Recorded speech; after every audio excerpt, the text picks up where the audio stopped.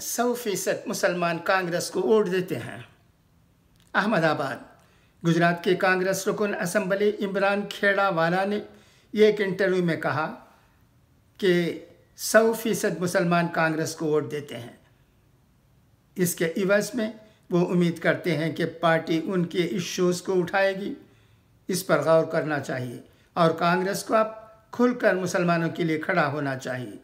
उन्होंने हाल ही में पुलिस के ज़रिए पिटाई की तनकीद करते हुए कहा कि आप खुले तौर पर ये कम्युनिटी को खुश करने के लिए दूसरे कम्युनिटी के मर्दों को बाँध कर उनकी पिटाई नहीं कर सकते। ये जमहूरीत को ख़तरे में डालना है।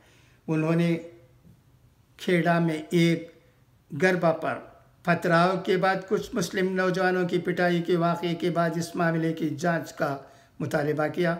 और इसमें शामिल पुलिस अहलकारों के ख़िलाफ़ कार्रवाई की मांग की।